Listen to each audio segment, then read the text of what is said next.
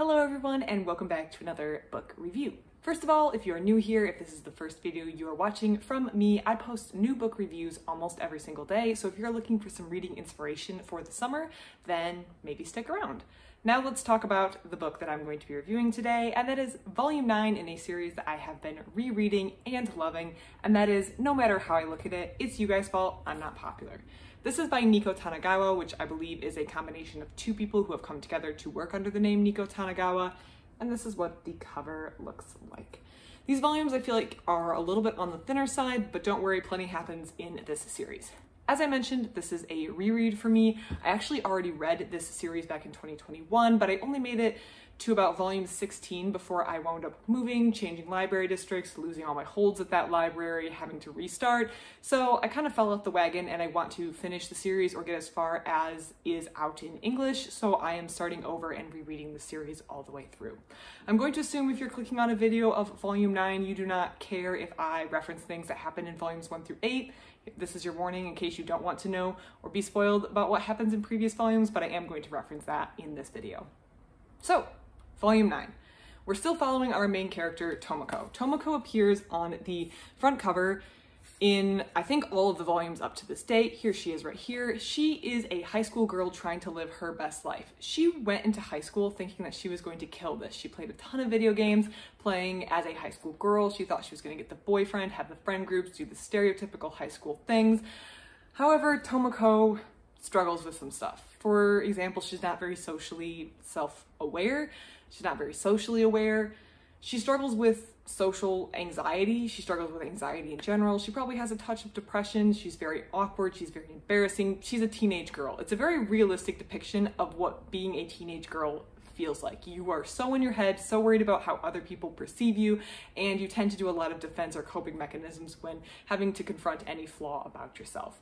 Tomoko is now in her second year in volume 9. She has been struggling to make friends. She doesn't really fit in, but she's in year two and she's trying.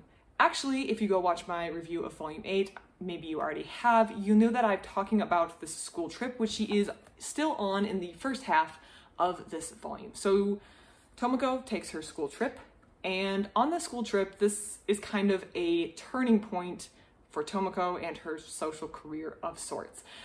In or on this school trip, she's forced to be a group leader by a teacher who kind of has a heavy-handed approach in trying to get Tomoko out there, and she has to take on this role. She's put with other people who either didn't fit in with the group or don't have a group, and it's just, it's the change that she needs to kind of put two and two together and be a little bit more social. So in my memory, if my memory serves, of the way the whole story goes. This class trip is a turning point for Tomoko in which she finally starts to grow a little bit as a person. Now this series is a slow burn in the sense that Tomoko takes a long time to grow. This is not one of those books where Tomoko goes on a class trip, has a deep discussion with her, with the girls that she's on the trip with, has a wonderful night, and then becomes a a beautiful and refined and never awkward again and perfectly funny and with a great group of friends high school girl of her dreams. That doesn't happen because this is a more realistic approach where the growth is slow and continual, but we're starting to see the growth being there. I think one of the first things I notice when I pick up this volume is the fact that Tomoko looks a lot less stressed and a little bit more comfortable with herself on the cover than she has in some of the previous volumes. Of course, she's still socially awkward, she still does a lot of interesting or dumb things, at least from my perspective. She still has a lot of the anxiety. She's still very self-centered in the fact that she thinks everyone is thinking about her and how awkward she is. She's overthinking everything. She still has all of these, but she's growing ever so slightly and we're starting to see the payoff of this growth. The authors even acknowledge this in the back of the book. It says Tomoko has gotten just a little bit better at conversing with her classmates. She's starting to talk to people. She's starting to be invited to lunch. She has a sports festival. It doesn't go as horribly as it could have gone. It could have gone a lot worse. And slowly but surely, we're starting to see Tomoko make those social connections that are so important. Volume 9, actually, I would say like just the jump from volume 7 to volume 9, going from 7, 8, 9, and reading all of those, I feel like is watching some of this growth all come together. All these experiences, all these situations, Tomoko is growing, and all this growth is finally starting to pay off subtly. I feel like that's maybe one of the things with growth is at the very beginning of growing in any sort of way, whether you're working out or starting to eat healthier or trying to grow as a person, maybe with having more patience, or you could pick anything. When you first start, there's going to be no change. On day one, there's going to be no change. Day one that you start running, there's going to be no change. Day one that you decide that you don't want to have road rage anymore, no change.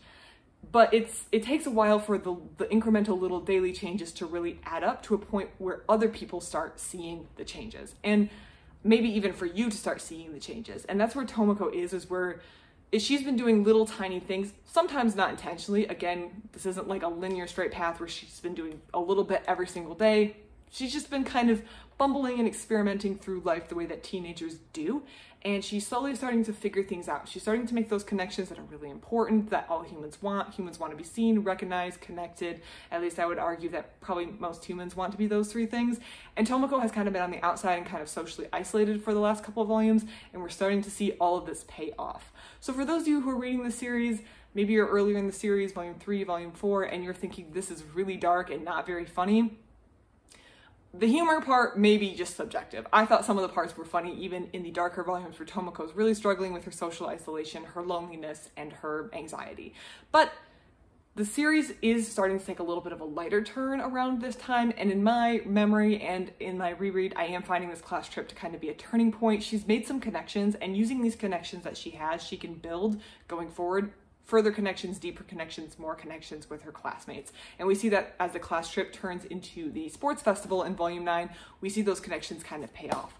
So overall, volume nine, I think volume eight is really the inflection point, but volume nine, we're starting to see the growth and the continue continue evolution of Tomoko as a high school girl, but maybe a more realistic high school girl than some of the escapist fantasies that are sometimes presented in manga. I really enjoyed Volume 9. I think if you're reading this series and you've liked everything thus far, you'll probably like Volume 9. If you're cheering for Tomoko to become the person that you know she can be, if you just like watching her embarrassing escapades, then you'll probably like this. If you think she's awful embarrassing, then you might like it because she's getting ever so slightly a little bit less awkward and embarrassing. If you are cringing because you remember everything bad that you said and did in middle school, because didn't we all do embarrassing things in middle school, you probably will still have to deal with that. But Volume 9, overall, I highly recommend. If you have any thoughts, opinions, feelings on the series thus far, on Volume 9, on Tomoko as a character, or if you have any suggestions of manga series that you think I would like and I should read next, please put them in the comments below. I love to hear them. Otherwise, thank you so much for watching, and I hope you have a great rest of your day.